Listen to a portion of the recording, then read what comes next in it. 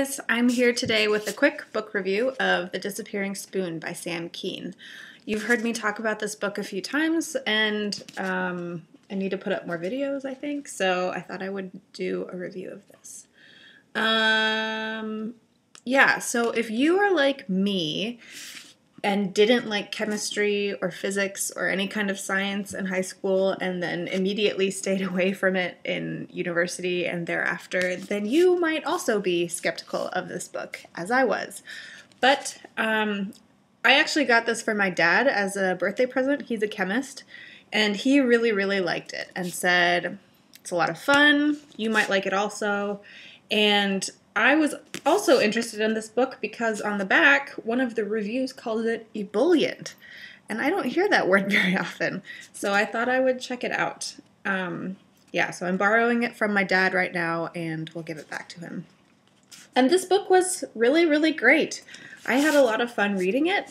Um, and it I, I, just learned so much while I was reading it, not just about chemistry and science and things like that. There's a lot of that that is presented in a very um, accessible way, but uh, you learn a lot about politics and um, and history and economics and all kinds of other things as well. It even talks about how um, the the elements figure into literature.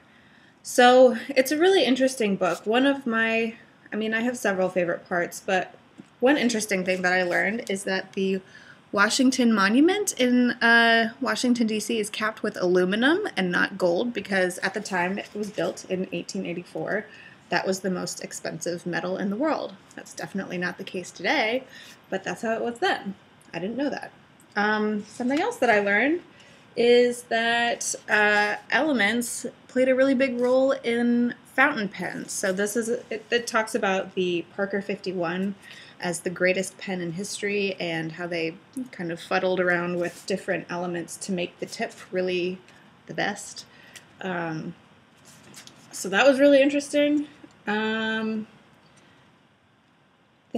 I don't know, like the book is just written really well. Um, the guy who writes it, Sam Kean, doesn't take himself too seriously. I mean, he's obviously a very intelligent guy and knows a lot about science and chemistry. He was a physics major, I think, but then realized he was kind of bored with making graphs all the time, so he decided to write a fun book about chemistry.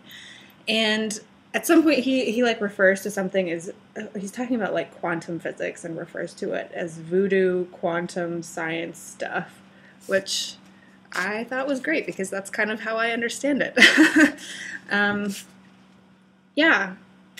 I don't know. I'm trying to think of other little anecdotes to tell you about. Um, when it talks about gold, it talks about a, a Danish chemist um, in World War II who knew that uh, who knew that the Nazis were coming and had a Nobel Prize. So what he did was he basically like dissolved the gold into some kind of solution, which the Nazis would then overlook and not be able to steal.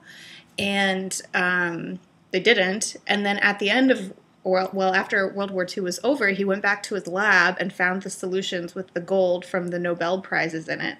And he re extracted the gold and then sent it back to the Nobel Committee in Norway and said, hey, can you guys reform these into Nobel Prizes so that people can have their prizes back. So that's pretty cool too. Um, and throughout that story, you learn that gold is really difficult to dissolve into a solution and all kinds of other things. So, um, yeah, I really enjoyed this book. I think um, it's it's great. You should check it out.